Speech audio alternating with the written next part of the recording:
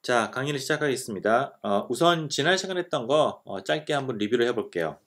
어, 지난 시간에 우리는 이제 Kronig-Penney 모델이라고 periodic 포텐셜에서 가장 간단한 형태의 포텐셜 문제를 우리가 풀어봤었고요. 어, 이거는 마찬가지로 이와 같은 periodic 시스템에서 파동 함수는 Bloch function으로 표현된다는 것, 그 다음에 각각의 K마다 우리가 다른 equation을 풀어야 된다는 거였습니다. 이걸 수치적으로 이 문제를 풀기 위해서 UX하고 VX의 주기성을 이용을 해서 푸리에 전개를 했었고요. 그렇게 해서 우리가 다시 어, equation을 표현을 해보게 되면은 결국은 슈뢰딩거 equation을 푼다라는 것은 뭐냐면 행렬에 있어서의 고유치 문제를 푸는 것과 동일해진다라는 거였습니다. 자, 그래서 우리가 각 K마다 어, 서로 다른 어떤 행렬의 그 고유치 문제를 푸는 거고 그걸 풀었을 때 나오는 eigenvalue들을 우리가 1, 2, 3, 4 이런 식으로 우리 인덱스를 매겨볼 수가 있었었죠. 어, 그래서 그 같은 우리가 이제 그 인덱스를 순서에 대한 거를 우리가 밴드 인덱스다라고 얘기를 했었고요. 그렇게 되면 결국은 이제 크리스탈에서 그 전자가 가지고 가지는 어떤 상태에 대한 레이블은 K와 N으로 표현된다는 거. K는 Bloch 벡터, 그 다음에 자연수에 해당하는 밴드 인덱스에 해당하는 거 N. 이 두 가지를 가지고서 어떤 전자의 상태를 우리가 labeling 할 수 있다라는 것. 그래서 이 두 가지 N과 K가 바로 양자수에 해당이 된다라는 거였었고요. 각각의 그 상태마다 에너지와 그다음 파동 함수를 우리가 구할 수 있었습니다. 자, 그래서 어, 우리가 이제 그 eigenvalue가 지금 n하고 k로 굉장히 복잡하게 표현되어 있었기 때문에 그걸 좀 우리가 이렇게 간단하게 아, 간단하다기보다도 하나의 그림으로 표현하는 게 바로 band structure였는데요. x축에다가는 Bloch 벡터를 표시를 하고 y축은 이제 에너지 스케일인데 내가 구한 그 eigenvalue들을 순서에 따라서 1, 2, 3, 4 이렇게 쭉 점을 찍어 보면은 결국은 어떤 게 나오냐면은 K가 연속적인 값을 가지니까 선으로 나오게 될 거고 그런 걸 우리가 이제 band structure다라고 얘기한다고 얘기했어요. 그래서 결국 band structure라고 하는 건 뭐냐면은 우리가 그 어, 크리스탈에서 어, eigenvalue, 전자가 가지는 eigenvalue 에너지 에너지를 우리가 모아놓는 것이다라고 이렇게 어, 얘기를 할 수가 있겠습니다. 같은 우리가 이제 여기서 보여주는 거는 empty lattice 그러니까 그냥 아무것도 없는 free particle에 대한 거였었는데요. 어, 그거는 실은 우리가 이미 답을 알고 있죠. 그러니까 어, 파동 함수는 a의 exponential ikx, e는 2m분의 h bar 제곱 k 제곱이라는 거 알고 있었고요.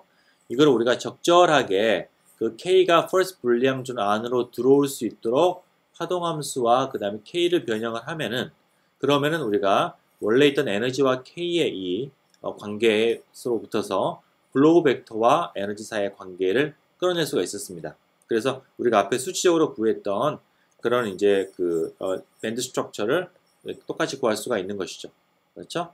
자, 어, 포텐셜을 이제 가했을 때, 포텐셜을 가했을 때 나타나는 어, 그 특징이 뭐였었냐면은 어, 각각의 그 밴드와 밴드 사이에 전자가 가질 수 없는 어떤 forbidden 에너지가 영역이 있게 되고요. 이런 걸 우리가 이제 에너지 갭, 어, 혹은 이제 뭐 밴드 갭, 어, 이렇게 보통 얘기를 합니다. 자, 어, 여기에서 근데 이제 한 가지 여러분한테 이제 좀 어, 커멘트를 하고 싶은 거는 이게 모든 밴드와 밴드 사이가 에너지가 간격이 있는 거는 아니에요. 그 보통 이건 1차원에서는 그렇게 되는데 차원이 올라가게 되면은 꼭 반드시 그런 거는 아닌 거 아니고요. 그 포텐셜의 세기에 따라서 혹은 어떤 K 값에 따라서 갈라질 수도 있고 안 갈라질 수도 있습니다. 그래서 이제 그런 점들 여러분들 염두해 두시고요. 그래서 이제 어떤 어, 특정한 에너지에서 전자가 존재할 수 없다라는 것 우리가 자유입자, 포텐셜이 없는 자유입자의 경우에는 그런 forbidden 에너지가 없었는데 여기서는 있다라는 어, 거예요. 바로 그 점이 주기적 포텐셜의 가장 큰 특징이 되겠어요. 자, 어, 이제 그거가 되는 원인을 살펴보기 위해서 이렇게 이해를 했었죠. 자, 우리가 이제 어, 어, zone boundary에서 그 파동함수를 그려보게 되면은 그거는 어, 사인 a분의 파이와 코사인 a분의 파이하고 유사한 형태였었는데 각각의 두 가지 경우는 포텐셜이 없다라고 하면 free particle이라고 하면은 그러면은 두 개가 에너지가 같은 그러니까 degenerate한 상태가 되는데요. 어, 그런데 이게 여기에서 periodic 포텐셜이 있음으로 해서 하나는 거기에 최대로 노출되고 다른 하나는 그거에 최소로 노출되면서 에너지가 올라가고 내려가면서 이게 갭이 생기게 된다라는 걸 우리가 이제 이해를 했었습니다. 이게 자 그랬었고요. 어, 그 다음에 이제 extended zone scheme을 설명을 했었었고요. 어, 이거 설명했던 이유는 우리가 이제 그 자유전자의 에너지와 K relation으로부터서 우리가 근사적으로 band structure를 도출해낼 때 이제 그 zone boundary에서 에너지를 갖다가 우리가 간격을 만들고 다시 first Brillouin zone으로 folding을 하게 되면은 그게 이제 우리가 구하는 band structure가 된다라는 거. 이제 그런 점을 활용을 하기 위해서 우리가 extended zone scheme을 우리가 이제 배웠었고요. 그 다음에 analytic하게 푸는 거에 대해서도 간단하게 얘기를 했습니다. 자, 오늘 시간에는 이제 그 Fermi level하고 density of states에 대한 얘기를 하겠어요. 자, 우리가 앞에서 이제 Bloch theorem에 의하면은 K는 어, first Brillouin zone 안에서 임의의 K 값을 가질 수가 있죠. 다시 말하면 연속적인 값이었다는 얘기였어요. 자, 근데 이거는 그 정말로 모든 그 원자가 혹은 이제 lattice가 무한하게 마이너스 무한에서 플러스 무한대까지 다 반복이 됐을 때 그때 그런 거고요. 실제 시스템은 그렇게 무한한 시스템은 없죠. 반드시 표면이라는 게 있어서 딱 그 물질이 어, 국한되어 있습니다. 그렇죠? 자, 그래서 그걸 우리가 이제 고려를 해야지 어, 고려를 하게 되는데요.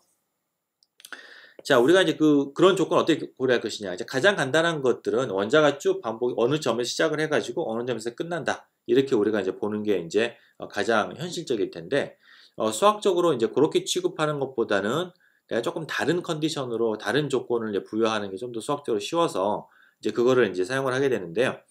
어, 뭐냐면은 여기서 보는 것처럼 그 원자들이 이렇게 끊어지지 않고 두 개가 딱 이어져 있다라고 생각하는 겁니다. 마치 목걸이와 같이 이렇게. 그렇죠? 이건 약간 가상적인 거죠. 실제로 그렇게 원자가 이렇게 우리가 삥 둘러가지고 있는 경우는 이제 거의 없고요.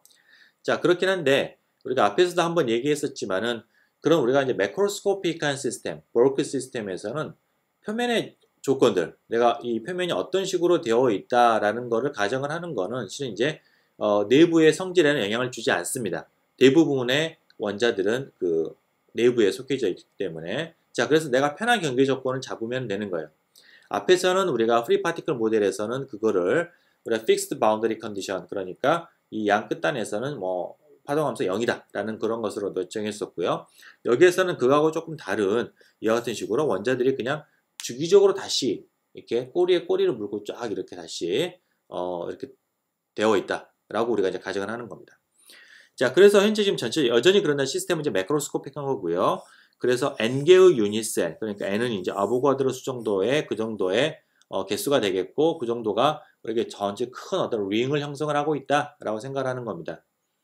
자, 그러면은 이게 이제 유닛셀에서 원자들 그 안에 들어있는 원자들이 주기적으로 반복이 되어 있는데 우리가 지금 이게 또한 바퀴 돌아 있기 때문에 실은 내가 이것다가 한 칸씩 다 옆으로 조금씩 움직이면 A만큼씩만 움직여도 다시 원래 걸로 돌아오겠죠. 똑같은 원형이니까. 그래서 마찬가지로 우리가 파동함수는 아까 포텐셜은 x 플러스 a가 vx와 같은 그런 주기적인 조건을 만족을 합니다. 약간 뭐 이상할 수 있는데 x가 그러니까 0에서 시작을 해가지고 어, 다시 이렇게 이제 어, 돌아오는데 이제 가상적으로 돌아오는 거 실질적으로는 이제 1차원을 펼쳐 있는데 내가 가상적으로 한 바퀴 돌아와 있다라고 하면은 그러면은 내가 이제 한 칸 옆으로 움직이게 되면 다 이렇게 한 바퀴 착각 옆으로 돌리는 거니까 똑같아진다라는 거죠. 그죠? 자, 그래서 마찬가지로 주기적인 periodic potential이라는 거고요. 그렇기 때문에 우리가 Bloch theorem을 적용을 할 수가 있겠고 파동함수를 Bloch function으로 어, 쓸 수 있습니다. U는 이제 lattice periodic한 거가 되겠고요. 자, 그 다음에 여기에서 근데 어, 이제 파동 이게 실은 내가 여기에서 X를 A만큼 움직이지 않고 한 바퀴를 정말 삥 돌아가지고 오게 되면은요. 그러니까 X를 내가 A가 아니라 NA만큼 shift를 하게 되면은 그럼 어디로 오겠어요? 원래 있던 자리로 오게 되겠죠? 이게 내가 어느 점에 있건 간에 NA만큼 갔다가 오게 되면 다시 자기 자신 내는 거예요. 그렇죠? 자, 고로 파동함수가 내가 이제 NA만큼 shift 돌리게 되면은 그러면은 이게 자기 자신하고 같아져야 된다는 겁니다. A만큼 더하면은 얘하고는 달 U하고는 달리 파동함수는 lattice periodic하지 않았어요. 자, 근데 여기서는 지금 이게 완전히 그냥 동일한 원자이기 때문에 한 점이기 때문에 동일한 점이기 때문에 파동함수 값이 같아야 된다라는 겁니다. 그렇죠? 자, 이와 같은 어떤 주기적인 거시적인 의미에서의 주기적인 경계 조건을 우리가 본, 폰 카르만 boundary condition이라고 얘기를 합니다. 본이라는 물리학자하고 그냥 폰 카르만이라는 물리학자 이름을 붙인 거가 되겠어요. 자, 그래서 어, 이와 같은 물리적 조건이 추가적으로 나오게 되겠습니다. 자, 그러면 여기에서 psi x가 Bloch function이니까 그거를 여기다가 대입을 하면은 좌변에 대입을 하면은 이렇게 쓸 수가 있겠고요. 여기에서 u는 여기 있는 이제 periodic 어, a만큼의 lattice periodic 하니까 그거를 적용할 수가 있고 그럼 x 플러스 na가 ux가 됩니다. 그렇죠? 자, 우변. 우변은 psi x인데 이건 요거니까 이렇게 쓸 수가 있겠죠. 그죠? 자, 두 개가 같다라는 거는 내가 UX가 지금 나눠지고요. 이것도 exponential IKX도 나눠지게 됩니다. 고로 남는 거는 뭐가 남냐면은 exponential IKNA 이거가 우변에 1이 돼야 된다라는 거예요. 자, 이렇게 될 수 있는 조건은 KNA가 2파이 곱하기 정수일 때, 즉 2m 파이일 때 이 조건을 만족을 할 수가 있겠죠? 필요 충분 조건이겠죠? 자, 고로 K는 그때 나누게 되면은 NA분의 2m 파이가 된다라는 거예요. 자, 어, K가 우리가 원래 이제 블로그 티어림에 의하면은 연속적인 실수값이었는데 실질적으로 정말 시스템이 유한하다고 놓고 봤더니 아, 정말로 진짜로는 연속한 건 아니고 이바, 이런 어떤 일정한 또 보면 이게 지금 어, 이렇게 써볼 수가 있겠죠? 이거는 내가 NA분의 2파이 어, 곱하기 M이니까 여기는 앞에 있는 이 간격 NA분의 2파이만큼의 간격을 가지고 이렇게 계속해서 등간격으로 쭉 이렇게 값이 나온다라는 거예요. 이게 자 근데 n이 아보가드로 수에 해당이 되는 거기 때문에 무지무지 작은 값이죠. 작은 값이지만은 0은 아닌 거예요. 일정하게 디스크리트하게 되어 있는 이제 어, 그런 값들로 촘촘하게, 촘촘하게 되어 있다라는 겁니다. 그렇죠? 자 그래서 그게 유한한 시스템의 우리가 이제 어, 특징이 되겠어요. 물론 n이 진짜 무한대라고 하면은 그러면 이게 간격이 0이니까 연속적인 것을 생각할 수가 있겠죠 우리가. 자, 그 다음에는 우리가 이제 그러면 K가, 어, 실은 K가 이런, 어, 또 어떤 추가적인 조건이 있냐면은, 이건 Bloch function이니까 어차피 Bloch 벡터, Bloch wave vector니까 반드시 first Brillouin zone 안에 들어가 있어야 됩니다. 고로 K가 마이너스 A분의 파이와 A분의 파이 사이에 있어야 되고요. 그럼 여기서 구했던 NA분의 2M 파이를 넣고서 양변에 내가 A분의 파이를 나누고 N을 옮기게 되면은 M에 대한 이 정수가에 대한 조건이 나오게 되는데요. 그게 마이너스 2분의 n에서 2분의 n 사이에 있어야 된다라는 겁니다. 그죠? 원래는 이제 m이 여기에서는 뭐 임의의 정수가 될 수 있다라고 했었는데 실은 임의의 정수는 아니고 마이너스 2분의 n에서부터서 2분의 n 사이에 있는 정수여야 된다라는 거예요. 그죠?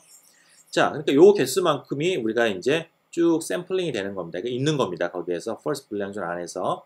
자, 그러면 요 개수가 전체가 몇 개가 될까요?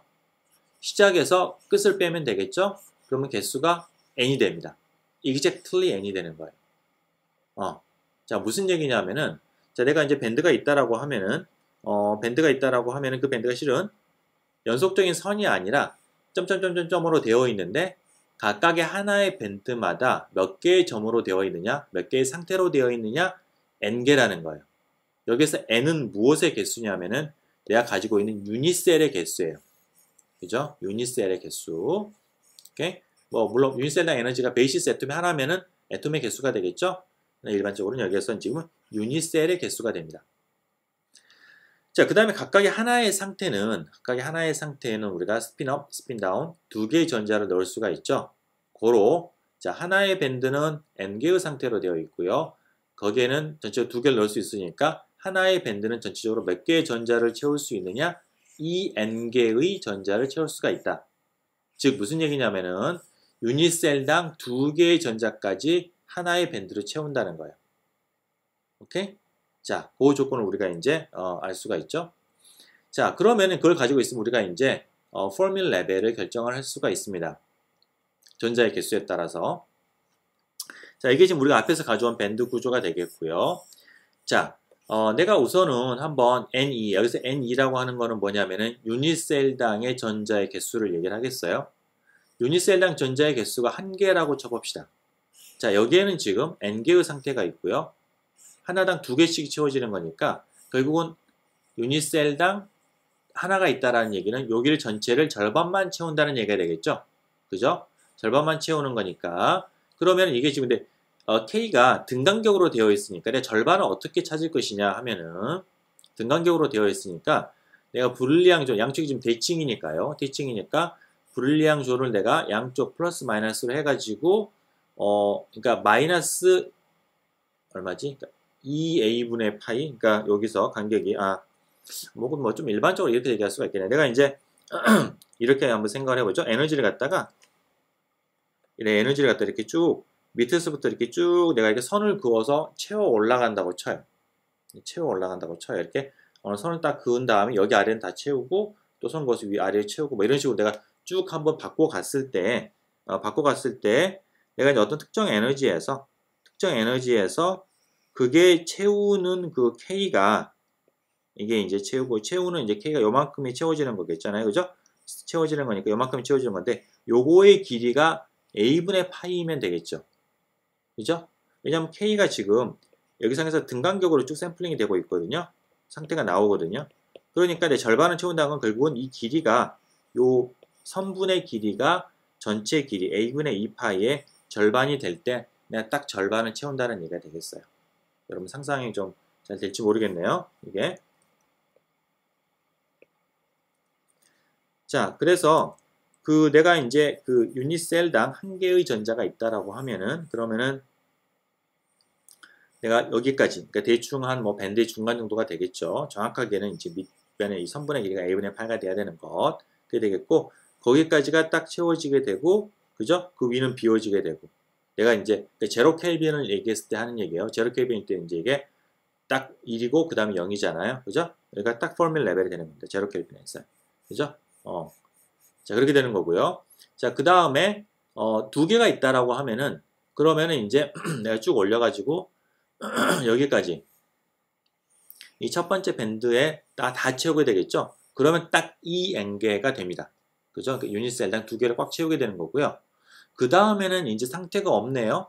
그죠? 그러니까 실은 제로 켈빈의 포밀 레벨로 얘기를 하면은 실은 포밀 레벨이 이 사이에 임의의 값을 가져도 돼요. 왜냐하면 0 켈빈은 어, 그 아래는 다 차고 그 위는 다 비워져 있는 거니까 여기 아무것도 없으니까 내가 이 사이에 아무 값이나 그냥 가질 수가 있죠. 어, 그죠? 포밀 레벨이. 자, 그래서 제로 켈빈에서는 이제 그렇게 undetermined 결정이 안 되겠지만은 유한 뒤, 뒤, 뒤쪽 여러분들이 반도체를 배우면 우리가 나오지만은 유한한 온도에서는 이 밴드 갭의 중간 정도로 그 값이 정해지게 됩니다. 다시 이제 볼 거고요. 하여튼 요 사이에 놓이게 되고요. 그 다음에 이제 세 개가 된다라고 하면은 또 위로 쭉 채워 올라가서 이 보는 것처럼 여기 위치가 됐을 때 그래서 이쪽의 선분의 길이가 여기하고 이 길이 두 길이를 합친 거가 a분의 파이가 됐을 때 그때가 바로 세 개일 때의 포밀 레벨이 되겠고요. 4개가 되면은 이제 두 번째하고 세 번째 밴드 사이에 이렇게 놓이게 됩니다. 자, 그런 식으로 우리가 포밀 레벨을 결정을 할 수 있어요. 물론 우리가 구한 건 0켈빈이긴 하지만은 앞에서 얘기했던 것처럼 어, 0켈빈이나 아니면 유한한 온도나 그렇게 큰 차이가 아닙니다. 포밀 레벨은. 그렇죠? 자, 그래서 우리가 그렇게 우리가 살펴볼 수가 있고요. 자, 여기에서 우리가 이제 중요한 어떤 물질의 이제 물성을 하나 연결을 시키는데 자, 뭐냐면은 우리가 그 채워져 있는 상태 중에서 가장 높은 상태와 비워져 있는 상태 중에서 가장 낮은 상태의 상태. 그러니까 우리 여러분들 화학에서 혹시 호모, 루모 이렇게 배웠을지 모르겠네요. 그거가 이제 고체에 대응되는 개념에 되겠어요. 이게 highest occupied, lowest unoccupied state. 그둘 사이, 채워진 거의 가장 위와 비워진 거의 가장 아래하고 그 둘 사이 차이를 우리가 band gap 혹은 energy gap이라고 얘기를 합니다. 자, 여러분 앞에서 우리가 여기 그 1차원 periodic 모델에서도 그 용어를 얘기를 했었죠.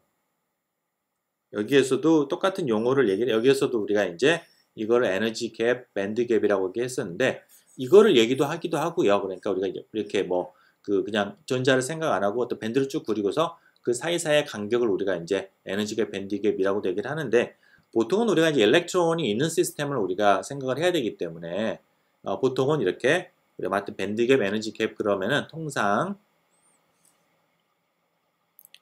그 채워진 거에 높은 것과 비워진 거에 낮은 걸 얘기를 합니다. 자, 그게 앞에서 우리가 이 홀수계가 됐던 것처럼 이렇게 그 둘 사이의 차이가 0이면은 에너지 갭이 0이면은 밴드 갭이 0이면은 그걸 우리가 금속이라고 얘기를 하고요. 그 갭이 유한합니다. 근데 그게 좀 작아요. 작으면 그래서 one electron volt 이하다. 그럼 우리가 보통 반도체라고 얘기를 하고요. 어, 그보다 더 크면은 우리가 어, insulator라고 얘기를 합니다. 어, 근데 이제 보통 이 반도체와 부도체 사이의 경계는 뚜렷하지는 않아요. 뭐 3 electron volt인데 부도체인 것도 있고 뭐 도체인 것도 있고 그렇습니다. 반도체인 것도 있고 그렇습니다. 자, 그래서 어찌됐거나 어, 메탈하고 인슐레이터 혹은 세미컨덕터하고는 확연하게 구별이 되는 거예요. 밴드갭이 있으므로 0, 혹은 유한한 값 이렇게 나눠지게 됩니다. 이렇게 자 그래서 어, 우리가 앞에서 이제 여기 보게 되면은 이게 홀수계일 때 전자가 홀수계일 때는 채워진 거에 가장 높은 것과 비워진 거에 가장 낮은 거의 간격이 제로죠. 없죠. 그죠? 이게작틀리 제로는 아니지만 그냥 거의 제로잖아요. 그죠? 영영영영 제로잖아요. 그러니까 어 이게 메탈이 되는 거고 어, 여기 3인 경우도 마찬가지고 그 다음에 2하고 4인 경우에는 채워진 거의 가장 위쪽과 비워진 거의 가장 아래쪽에 간격이 있습니다. 이게 바로 energy gap, band gap이 되는 거예요. 이 시스템에 electron 두 개일 때. electron이 네 개일 때는 요게 band gap이 되는 거고요. 오케이? 자, 그래서 그렇게 우리가 이제 어, band gap으로 metal과 insulator 혹은 semiconductor를 우리가 구별을 합니다. 자, 그게 우리가 보통 이제 그런 도체 부도체를 얘기를 할 때는 전기적 특성을 얘기를 하잖아요. 그게 왜 전기적 특성과 연결이 되는지는 우리가 다음 chapter에서 이제 배우게 될 것입니다. 자, 어, 그래서 우리가 Fermi level을 살펴봤었고요. 그럼 이제 그 다음으로는 density of state가 되겠어요. 아이고, 자, density of state. 자, 우리가 이제 band structure를 구했다라는 거는 실은 가장 기초적인 데이터, 근본적인 데이터를 얻은 거기 때문에 당연히 density of state도 우리가 구할 수 있어야 됩니다. 자, 그 density of state를 우리가 구하는 거는 여기에서는 원래 어떤 original definition을 사용하겠어요. 뭐냐면 density of state, 어떤 특정 에너지에서의 density of state를 D라고 하면은 D2에다가 어떤 작은 에너지 간격 D2를 곱한 거는 E와 E 플러스 D 사이에 있는 상태의 개수를 얘기를 한다고 는 거예요. 그죠? 여기서 말하는 상태는 그러니까 밴드 스트럭처에서 점점점점점 이 게 상태가 되는 겁니다. 그죠? 자, 그러면 내가 여기에서 아래쪽에 이런 밴드가 있다고 쳐봐요. 자, 그러면은 내가 예를 들어 가지고 어떤 특정한 에너지, 뭐 요 정도 우리가 에너지를 생각을 해보죠. 자, 요거를 내가 E라고 하고요. 살짝 위쪽을 내가 약간 좀 이제 과장해서 그려서 E 플러스 DE 이렇게 있다고 쳐보죠. 자, 그럼 E하고 DE 사이에 요런 이제 우리가 그죠? 요 사이에 있는 아이고 참 제대로 못 그렸다. 요 사이에 있는 이 점의 개수 이 점의 개수를 카운트를 합니다. 그죠? 카운트를 한 다음에 그 다음에 그 카운트하면 요 값이 얻어지는 거고요. 그걸 내가 이제 dE로 나누게 되면은 그러면 바로 density of state가 나오는 거예요. 이렇게 그걸 내가 여기서 오른쪽에다 그린 겁니다. 자, 오른쪽에 있는 그림은 이제 어, y축은 동일하게 에너지 스케일이 되고요. 여기 있는 거 이쪽에 이제 x가 뭐냐면은 density of state 도스 값이 되는 거예요. 그래서 내가 어떤 특정한 에너지에서 density of state를 방금 같은 식으로 계산을 하고 그 다음에 그걸 이쪽에다 표시를 하면 이런 값이 나오는 겁니다. 여기 단위는 그냥 뭐 상당히 이제 아비트로리한 값이 됩니다. 그러니까 아비트로리하다기보다도 뭐 이게 그, 그, 저기 뭐냐, 어, 그 큰 의미는 없는 거고 하여튼, 어, 어떤 값이 나오게 되는 거예요. 오케이? 어. 자, 그렇습니다. 자, 그 과정을 조금만 더 자세히 한번 봐보죠. 내가 이 부분을 갖다가, 어, 그 방금 내 개수를 카운트한 거를 조금 더 확대를 해볼게요. 확대를 해보면, 이렇게 그려볼 수가 있겠어요. 확대해서 이렇게 그리고요. 내가 그러면은 이쪽에 이쪽 branch가 이렇게 쭉 가고, 근데 작은 거를 내가 확대를 했기 때문에 이 곡선이 실은 거의 직선처럼 보일 거예요. 그렇죠? 그리고 이쪽에도 이렇게 이렇게 있을 거고요. 이렇게 어, 대칭인 패턴으로 이렇게 두 개가 걸쳐 있는 거죠. 그렇죠? 자 그러면은 이게 보면은요. 이게 보면은 내가 여기 이 구간 안에 어, 이렇게 할까요? 이 구간 안에 얼마나 많은 개수가 들어가 있느냐라는 거는 어, 얼마나 많은 어, 개수가 들어갔냐라는 거는 실은 무엇에 의해서 결정이 되냐면은 결국 여기서부터 여기까지 이게 등간계이기 때문에 이게 등간계이기 때문에 요 길이 있죠. 요 길이를 내가 이제 L이라고 해볼게요. 요 길이 L이 L에 비례해서 개수가 나오게 되겠죠. 그렇죠? 그러면 L이고 그 다음 요 Y축의 이 간격은 D2로 일정해요. 그렇죠? 자 그러면은 여기에서 내가 요 이제 이, 이 작은 부분을 확대를 해서 내가 거의 직선처럼 보이는 거니까 거의 직선처럼 보이는 거니까 내가 그거를 어, 그 직선에 내 기울기 슬로우를 계산해 보면은 slope는 L분의 어, dE가 될 거고요. 그렇죠? 어, 그러면은 내가 이제 L 그 길이에 해당이 되는 거는 slope 분의 dE가 되겠어요. 그렇죠? 자, 이거는 이제 오른쪽에 있는 거는 이게 기울기 양수니까 이렇게 우리가 할 수가 있겠고 이제 왼쪽에 있는 건 기울기 양, 음수니까 이쪽에 내 길이를 구하고 싶으면은 slope의 죄송합니다. 절대값을 씌워야 되겠죠. 그렇죠? 아, 아 그렇죠. 이렇게 되는 거죠. 그죠? 자 그리고 어, 이 길이가 L이 결국은 얼마나 많은 상태가 있느냐 그 개수를 우리가 결국은 결정을 하는 거기 때문에 그게 바로 뭐예요? density of state에다가 어, d를 곱한 거가 되겠죠. 그래서 이게 뭐, 이게 이제 뭐가 되냐면 길이에다가 이제 어 그렇죠. 우리 정확하게 한번 써볼까요? L인데 이제 여기는 점점점 하나하나의 점의 개수의 이 간격이 이 점과 점 사이의 간격이 NA분의 어, 2파이였었죠. 그죠? 다시 한번 확인해 볼게요. NA분의 2파이죠. 맞죠? 어. NA분의 2파이가 되니까 그러면은 이게 지금 NA분의 2파이 간격에다가 들어가 있는 것의 개수 그렇죠? 들어가 있는 것의 개수가 이제 우리 number of state니까 뭐라고 할까? 이걸 갖다가 number of state 아, n, n은 또 앞, 에서 다른 의미였으니까 이게 내가 음, 아 이거를 n2라고 합시다 그냥 이걸 갖다가 n2에 2 그렇죠? 어. 요게 될 거예요. 그죠? 어. 될 거고 이게 바로 뭐냐면은 어, 이 들어가 있는 개수 여기에다가 내가 이제 어, 그러니까 이제 요거 NA를 갖다가 아이고.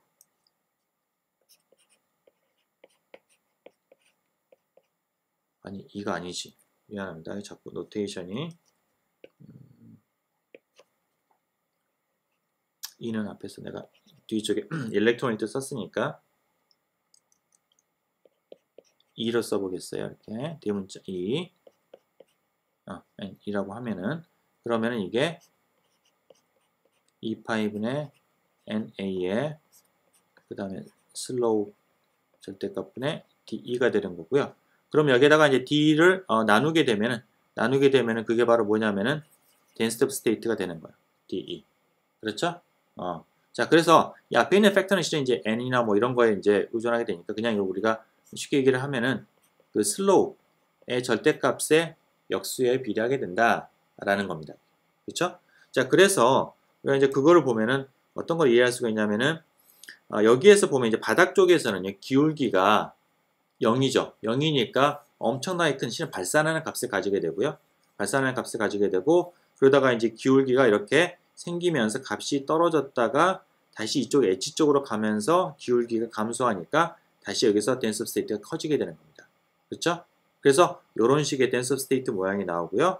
이 두 번째 밴드 같으면은 이게 지금 보면은 어, 때요요 가운데에서 기울기가 마찬가지로 제로 시작을 해가지고 이렇게 하는데 이게 지금 많이 좀 이렇게 폭이 더 넓기 때문에 기울기가 얘보다는 더 커질 수가 있죠. 더 커지니까 값은 더 작아지게 됩니다. 그리고 다시 끝에 이렇게 되는. 그죠? 이런 식의 형태가 나오게 되고 물론 이제 밴드와 밴드 사이에 에너지가 없는 구간에서는 DOS는 0이 되겠어요. 그죠? 이런 모양이 되는 거를 우리가 이제 알 수가 있습니다. 그죠? 어, 자, 여기에서 이제 우리가 하나 그 양 끝단에서 한번 좀 봐볼게요. 끝단 같으면은요, 실제로 우리가 이게 지금 어, 평평하기 때문에 평평하기 때문에 요 끝에 쪽, 이 우리가 바닥에서의 에너지를 갖다가 E bottom이라고 얘기를 해볼까요? bottom이라고 하면은 요 근처에서 이 근처에서 에너지와 K 사이의 관계식은 에너지는 어, 2의 바텀 플러스 2n분의 하바 제곱 k제곱 이렇게 되겠죠? 자 그러면은 내가 여기서 slope는 이제 slope를 구하고 싶으면 이거를 k로 미분하면 되겠죠? 그러니까 dk의 dE는 미분하면은 이게 n분의 하바 k가 되니까 k에 비례하게 되는 거고요. 이 슬로우이 되는 거고 어, 이 k에 비례하는 거고 여기에서 내가 이제 요거를 k로 표현해 보게 되면은 이게 이제 뭐가 인 걸 알 수 있냐면은 루트의 2 마이너스 이 바텀에 비례하는 걸 알 수 있어요. 그렇죠? 저걸 이제 여기 있는 거를 k에서 내가 이쪽 왼쪽 오른쪽으로 E bottom을 넘기고 루트를 취하게 되면 이렇게 된다는 거죠. 그죠? 자, 그리고 요거의 역수가 density of state가 되는 거니까 이 아래쪽은 이런 식으로 이거의 역수, 역수로 이렇게 되고요. 마찬가지로 내가 맨 위쪽에 이쪽 에너지 갖다 top이라고 E top이라고 하면은 이거는 이런 식으로 이제 발산하게 되겠어요. 자, 요 형태 루트 E분의 1로 발산하는 것을 많이 본 것 같지 않으세요? 여러분, 어, 그걸 기억하시면 굉장히 고맙겠고요. 여기 있어요. 바로. 1차원 시스템에서 1차원 시스템에서 우리가 이제 이 이거 루트 E분의 1로 발산하는 거 density of state free electron 마, free electron model에서 그거하고 동일한 형태예요. 그죠? 어 어떻게 같을 수가 있지 이게? 자, 이게 같게 되는 거는 둘 다 one D 시스템이고 그 다음에 이게 그 아이고 70페이지로 넘어가네. 네, 그렇죠? 같게 되고 그 다음에 이게 이제 이 바닥 근처에서는 에너지하고 K 사이의 관계가 여기서 Bloch vector이죠. 관계가 에너지와 wave number의 관계랑 비슷하기 때문에 우리가 그 상태의 그 입장에서는 이게 어, 상태 개수 입장에서는 동일한 형태를 가지는 겁니다. 그러니까 free electron model하고 이런 periodic potential model 하고가 완전히 독립적인 게 완전히 다른 게 아니에요. 어떤 면은 유사한 면이 있고 어떤 면은 또 다른 면이 있고 그런 거예요.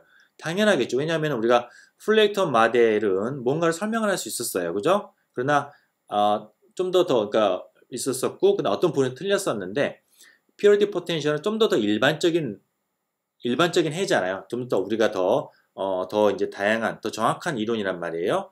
그러면 free electron model에서 우리가 옳다라고 받아들이는 결과들이 다시 reproduce가 돼야 되는 거예요, 여기에서. 거기에서 다 왕창 틀리는 게 아니고 맞고 거기에서 맞는 부분은 여기도 맞아야 되고 근데 거기서 틀렸던 거가 여기서 설명이 될 수 있어야 되는 겁니다. 그죠? 그래서 어, 1차원의 density of state가 이렇게 루트 E분의 1로 나왔던 거 free electron model에서 그거가 여기에서는 이런 식으로 우리 나오게 되는 거예요. 오케이? 예, 우리 그런 식으로 이해를 해볼 수가 있겠습니다. 어, 자, 그래요. 어, 자, 그리고 여기서 우리가 이제, 어, 또, 뭐, 하나 여러분들이 관측할 수 있는 게, first band가 second band에 비해서 더 높은 어떤 값을 가지게 되죠. 그렇죠? 어, 아, 아까 얘기했던 거 이게, 이게 Van Hove singularity라는 거. 그래서 그거 다시 한번 comment를 하고요. 어, 이게 지금 first band가 더 높은 댄스 스테이트를 가지게 되는데 두 번째에 비해서 자 그렇게 되는 거는 이렇게 이해할 수도 있어요. 어, 첫 번째 밴드나 두 번째 밴드랑 같은 상태가 있습니다. 개수는 같아요. 근데 첫 번째 밴드는 첫 번째 밴드에 비해서 두 번째 밴드가 더 넓은 영역에 그거를 펼쳐나가지고 있죠. state를.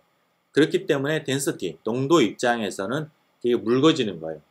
우리가 잉크가 있는데 좁은 영역에 그 똑같은 어떤 어떤 1몰의 잉크를 넣는 것과 더 넓은 영역에 1몰의 잉크를 넣는 거는 더 묽기가 다르겠죠?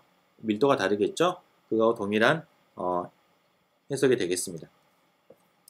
자, 그 다음에 어, 이제 여기서 한 가지 코멘트 할 거는요. 우리가 앞에서 그 이제 particle in a box를 풀 때는 우리가 표면에 이제 이렇게 딱 surface가 딱 이렇게 cut돼 있었죠. 그러니까 여기서 이제 가두어져 있었었죠. 그렇기 때문에 그때는 우리가 사인하고 코사인으로 해가 나왔었어요. 그렇죠? 그리고 그거는 이제 우리가 오른쪽으로 움직이는 exponential ikx와 왼쪽으로 움직이는 exponential 마이너스 ikx가 중첩이 된다. 왜냐하면 왔다 갔다 왔다 갔다 해야 되니까 이제 그런 것으로 이렇게 나왔던 거고요. 반면에 지금 경우는 우리가 한 바퀴 삥 돌아오는 거죠. 고로 이거는 우리가 시계 방향 혹은 반시계 방향으로 일정하게 움직이는 게 가능해요. 얘가 이렇게 튕기지 않고서. 그렇죠? 그렇기 때문에 여기에서의 해는 우리가 exponential ikx 곱하기 ux 물론 이거는 정확하게 이거랑 같은 건 아니에요. 그러나 흡사한 면이 있습니다. 자, 그래서 실은 여기가 이렇게 표현할 수 있다라는 거는 이게 지금 왼쪽으로 돌거나 오른쪽으로 도는 운동 상태를 우리가 나타낸다. 라는 거. 이제 그게 좀 차이점이 되겠어요. 그래서 앞에서 프레이트론 모델 할 때 하고 지금하고 약간 수학이 어 약간 좀 어 쓰는 이제 그 형태가 약간씩 다르다라는 거를 그렇게 이해를 해볼 수가 있습니다. 정확하게 어떤 운동 상태냐라는 거는 여러분 다음 챕터에서 우리가 다시 한번 볼 거예요.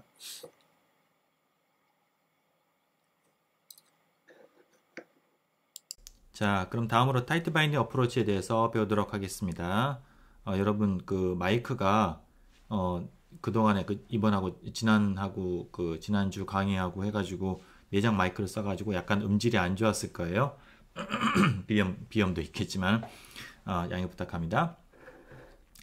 자, 어, 이건 뭐냐면 이제 우리가 포텐셜을 앞에처럼 약하게 걸지 않고 좀 세게 걸어보는 겁니다. 여기에서 예를 들어서 지금 50 일렉트론 볼트를 걸었어요. 그죠? 자, 그랬을 때 이제 어떻게 나올까? 뭐 푸는 방식은 똑같습니다. 이제 그 똑같이 행렬을 풀어가지고 나오는 거고요. 그때 나오는 그 밴드 스트럭처는 다음과 같아요. 이게 자, 50 일렉트론 볼트가 여기가 지금 이제 그 뭐냐 그 베리어 베리어의 높이가 되겠어요. 자 위쪽은 이제 얼핏 보면은 뭐 예전하고 비슷한 그런 밴드 모양이 되겠네요. 물론 하나의 상태를 보면은 뭐 상당히 달라져 있습니다. 자 근데 여기서 우리가 좀 이제 주의 깊게 보고 싶은 건 아래쪽이에요. 아래쪽에 보면은 이 두 개의 아주 평평한 밴드가 이렇게 있네요. 자 그리고 이제 우리가 꺼내 가지고 이제 X 포인트 여러분 그 그동안 요, 요런 용어를 잘 안 썼었는데 원점을 우리가 감마 포인트라고 얘기했었고요. special 포인트 중에서 그 다음에 이제 그 이 x축에서 zone boundary와 만나는 점을 x 포인트라고 얘기했었죠. 자, 요런 용어를 이제 앞으로 쓰도록 하겠어요. 자, 여기에서 우리가 이제 그, 어, 그 전자 밀도를 한번 그려보면은 이런 모양이 됩니다. 자, 가장 아래쪽에 있는 거는 우물 사이에 이렇게 있고요. 전자 밀도가. 그 다음에 두 번째 밴드는 이런 식으로 되어 있어요. 이게 지금, 어, 뭐, K 포인트에 크게 모양이 바뀌지는 않습니다. 자, 근데 이런 모양이 어디서 많이 본 것 같아요, 여러분. 여러분 기억날, 기억날지 모르겠지만 한번 어, 띄워볼까요? 그 예전 우리가 챕터에서 여기서 보는 것처럼 아이고 그 quantum well에서 그죠? 어, ground state하고 first excited state의 파동함수 모양 요 모양하고 유사해 보이죠 그죠? 어. 자, 그게 이제 우연이 아니고요. 결국은 뭐냐면은 우리가 potential 우물이 정말로 어, 높다라고 하면은요. 높다라고 하면은 아이고. 자, 높다라고 하면은 이렇게 우리가 지금 되어 있는 건데 어. 이게 굉장히 높아서 여기 마치 뭐냐면 요거 하나하나가 우리가 여기 있는 가운데 있는 하나하나를 갖다가 보게 되면은 이게 마치 그 전혀 옆에 아무것도 없이 그냥 하나 이렇게 뚝 하고 떨어져 있는 그런 양자 우물하고 비슷하게 느낀다라는 거예요. 전자 입장에서는. 그죠? 그래서 여기에서 이 ground state 여기 여기는 이 ground state가 여기 이렇게 하나가 나오게 되고 그러는 것들이 인접한 거에 있고 이렇게 있고 이런 것들이 연결돼 가지고 이런 상태가 나온다라는 거예요. 그죠? 그리고 first excited state도 마찬가지로 원래는 여기서 이런 거가 하나가 이렇게 있는 거가 이게 이런 식으로 옆에 있는 것끼리 이렇게 이어 붙어 가지고 이런 상태가 나오는 거예요. 그죠? 어, 그래서 우리가 이제 굉장히 웨일이 이게 높이가 높을 때는 인접한 걸잘 느끼지 못하고 마치 그냥 자기 혼자 피로딕하지 않고 자기 혼자 있는 것처럼 그렇게 느낄 수가 있다라는 거예요. 자, 근데 여기서 우리 핵심이 되는 건 뭐냐면은 이런 이제 그 개별적인 물론 이건 근사적인 겁니다. 이게 정확하게 연결된 거가 이런 것들로만 이렇게 그냥 더하기로 된 건 아니고요. 약간 변형이 있긴 있지만은 대체적으로는 그런 모양과 비슷하게 나온다라는 거예요. 자, 여기서 핵심이 되는 거는 관건이 되는 거는 뭐냐면은 이런 우리가 다른 지역에 localize 되어 있는 그런 우리가 이제 상태들을 갖다 localized state들을 이어 붙일 때 과연 그 앞에 계수를 어떻게 할 것이냐의 문제예요. 이게 자 거기에서 우리가 이제 좀 어, 보기 전에 어, 하나 우리 복습을 좀 해보죠. bonding, antibonding을. 어, 여러분 아마 화학 시간에 배웠을 것 같은데요. 여러분 수소 원자가 이렇게 있다고 치면은 수소 원자가 이제 1s 오비탈이 이렇게 있겠고요. 자, 떨어져 있을 때 하고 가까이 오게 되면은 어때요? 두 개가 서로 어, 우리가 오비탈들이 중첩이 되면서 결합을 하게 됩니다. 두 개가 같은 부호로 이게 플러스 플러스로 중첩이 되게 되면은 그럼 우리가 이제 본딩이라고 얘기를 하고요. 이런 본딩 상태가 되게 되면은 전자가 마치 공유되고 있는 것 같은 이게 서로 이렇게 어, 그 사이사이에 이렇게 돌고 있어가지고 전자 하나가 양쪽을 다 느끼게 되니까 에너지적으로도 안정화되는 겁니다. 이게 어, 반면에 이제 플러스와 마이너스로 이렇게 우리가 어, 두 개를 선형 결합을 결합을 할 수가 있는데 그리고 우리 antibonding이라고 얘기를 하죠. 그거는 우리가 전자 분포로 보게 되면 여기는 이제 전자 어, 파동함수 제곱을 한 건데요. 이게 좀 bonding을 제곱을 하면 이렇게 되고요. 그래서 사이에 이제 많이 존재를 하게 되고 반면에 이제 antibonding한 거를 어, 제곱을 하면 이렇게 됩니다. 그럼 이거는 중간에 여기 보면 이제 0이 되는 포인트 이걸 우리가 node라고 얘기를 하는데요. 그죠? 이 node가 있기 때문에 그렇기 때문에 이 중간에서 반드시 density가 굉장히 작은 0에 가까운 0이 되는 그런 포인트가 나오는 겁니다. 이런 게 있기 때문에 실은 이제 공유가 되지 못하고 실은 전자가 이제 멀어지게 되기 때문에 불안정해지게 되는 것이죠. 그죠? 자, 그래서 그런 것들을 우리가 이제 schematic하게 이렇게 표현을 하고요. 그래서 원에서 orbital이 있을 때 중첩이 되면은 bonding은 안정화되고 antibonding은 불안정화된다. 라는 거고 그런 bonding 때문에 실은 거리, 거리가 가까워지는 거가 안정화될 수 있다. 뭐 이런 것들을 우리가 이제 여러분들 화학 시간에 배웠을 거예요. 자, bonding, antibonding 개념. 자, 그 개념이 지금 여기에서도 나오게 됩니다. 자, 뭐냐면은, 자, 앞에서는 우리가 이제 그 이 밴드가 평평해 보였었는데요. 어, 이걸 갖다 우리가 좀 확대를 해보게 되면은, 확대를 해보게 되면 완전히 평평한 건 아니고, 약간의 우리가 이렇게 그 이게 dispersion이 있다라고 얘기를 하는데, 약간의 이게 분산되어 있는, 그러니까 그 에너지 어떤 이렇게 어, K에 따라서 변하는 그런 모양이에요. 물론 굉장히 그 변화량은 작습니다. 자, 그 ground state 첫 번째 밴드, 첫 번째 밴드를 우리가 쭉 보면은 거기서 우리가 감마 포인트를 끄집어내 가지고 파동 함수를 그려보면 이렇게 돼요. 이렇게 뭐냐면은 어, 이 ground state, 그러니까 그 각각 각각 개별적인 양자 우물들의 localize 되어 있는 ground state가 같은 phase를 가지고 플러스 플러스 플러스를 가지고 결합된 것 같은 그런 bonding state가 되는 거고요. 그 다음 요거는 뭐냐면은 어, 그다음 X 포인트에서 내가 그림을 그려봤더니 이게 어 플러스 마이너스 플러스 마이너스 이런 식으로 부호가 바뀌더라. 그래서 그 사이사이가 마치 antibonding처럼 node가 생기더라는 거예요. 그렇죠? 자, 그래서 아하 이게 지금 감마 포인트에서는 그 국소화된 어, localize된 뭐 orbital 혹은 localize된 ground state가 bonding을 이루는 거고 그래서 에너지가 낮은 거고 이건 antibonding이라서 에너지가 높은 거고 그렇게 되는 거구나 라는 걸 우리가 감마와 X 포인트에서 볼 수가 있습니다. 자, 반면에 이제 first excited state 그 위쪽에 있는 것도 마찬가지로 우리가 가져와서 좀 확대를 해보게 되면은 약간의 더 베인 이게 그그 어 이제 그게 이제 디스퍼전이 있는데요. 이때는 밑에 있는 것보다 조금 더 더 이제 폭이 좀 넓고 어 그리고 이건 신기한 게 뒤집혀져 있습니다. 왜 그럴까요? 자 보게 되면은 여기서 감마 포인트에서 파동 함수를 끌어내 보면은 자 이거는 지금 first excited state가 어, 이렇게 돼 있죠. excited state가 이렇게 그 자체적으로 한번 플러스 마이너스 이렇게 node가 있어요. 그죠? 그러면 그런 것들이 지금 이렇게 플러스 마이너스가 그대로 중첩을 한 거예요. 내가 방향을 바꾸지 않고. 그죠? 플러스 마이너스 플러스 마이너스 그렇게 되면은 그 사이 그 orbital과 혹은 localized state와 state 사이에는 부호가 이제 교차가 되는 antibonding이 되는 겁니다. 그렇죠? 이건 antibonding이 되는 거고요. 반면에 X 포인트에서는 내가 플러스하고 마이너스를 뒤집으면서 자 플러스 마이너스 그걸 한번 뒤집고 마이너스 플러스 또 한번 뒤집으면 또 이제 플러스 마이너스 이런 식으로 인접한 것으로 가면서 뒤집으면서 이거를 내가 서로 이어 붙인 거예요. 그죠? 근데 그렇게 되면은 각각의 그 이 orbital과 orbital 사이에서는 서로 같은 부호로 붙는다라는 거죠. bonding이 되는 겁니다.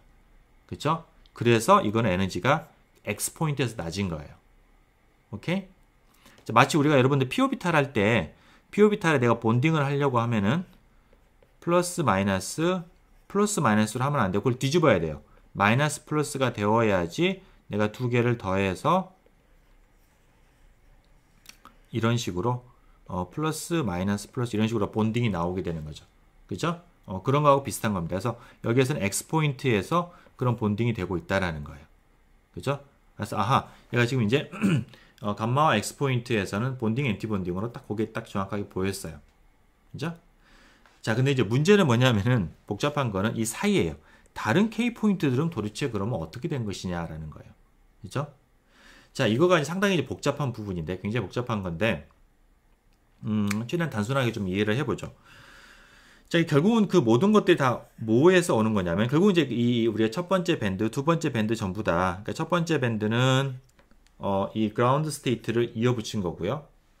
어, 이거는 지금 first excited state를 이어 붙이는 건데, 내가 이어 붙일 때 어떤 그 phase를 붙여서 내가 그것들을 이어 붙이느냐라는 게 관건이었는데, 감마 포인트에서는 내가 phase를 안 변하고, 안 변하고 하는 거고요. 이제 그걸 내가 좀 설명해 볼게요.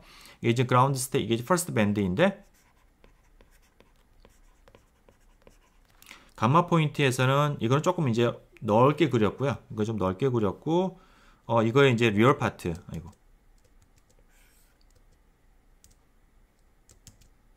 real part 파동함수의 real part와 imaginary part를 다 그려봤고요.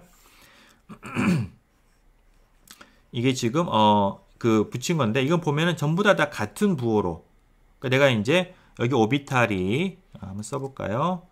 그러니까 여기에서 내가 어떤 지점 여기서 지금 이게 파이 x라고 하죠. 자, 파이 x라는 게 이제 뭐냐면은 이거는 내가 이 ground state 딱 하나 있을 게 양자 우물 딱 하나 있을 때 그때의 파동 함수 모양을 내가 이제 파이 x 라고 얘기를 할게요. 여기에서 내가 이제 파이 x라고 하면은 옆에 있는 거는 이제 그거를 한 칸 x만큼 shift를 해야 되겠죠? 파이의 x 마이너스 되고요. 그 옆에 있는 거는 파이의 x 마이너스 2a, 2a만큼 움직인 거고 이거는 파이의 x 플러스 a, x 방향으로 a만큼 이렇게 이제 움직인 거예요. 자, 이것들을 이어 붙이는데 이게 뭐냐면 내가 그냥 다 일씩 곱해가지고 그죠? 뭐 다 같은 부호로 같은 부호로 해가지고 이거를 내가 이어 붙였다라는 거죠. 1 곱하고 플러스 1 곱하고 이런 식으로 그렇죠? 그거가 이제 감마 포인트였어요. 반면에 x 포인트는 뭐냐면은 내가 갖다가 처음에 이걸 갖다가 내가 파이 x라고 하면 이걸 갖다가 파이 x라고 하면은 인접한 거를 붙일 때 파이의 x 마이너스 a 옆에 있는 사이트 그걸 할 때는 내가 마이너스를 곱하고요. 그 옆에다가는 플러스를 곱하고 그렇죠? 그리고 여기 이제 이쪽으로 가게 되면 다시 이제 이거는 또 이제 마이너스가 되겠죠? 파이의 x 플러스 a에 플러스 이런 식으로 이렇게 쭉 이어 붙인 거예요. 그렇죠? 자, 이게 뭐냐면은 이거는 그 앞에 파동함수 그러니까 어, 이 ground state 파이 x에다가 2를 곱한 거고 이거는 지금 한 칸 옆으로 가면서 오비탈을 오비탈이라고 얘기할게요. 그냥 오비탈을 옮기면서 마이너스 1을 계속 곱해 나가는 거예요.